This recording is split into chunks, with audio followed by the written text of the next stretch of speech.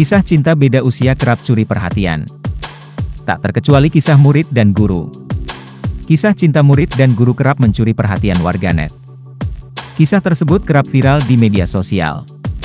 Kali ini kisah murid yang akhirnya menikah dengan gurunya pun kembali viral di media sosial. Kisah tersebut diunggah oleh akun TikTok fan underscore load. Video berdurasi beberapa detik tersebut memperlihatkan kisah cinta pria dengan gurunya. Saat tahun 2016 ia masih duduk di bangku SMA, tampak ia berfoto dengan salah satu gurunya.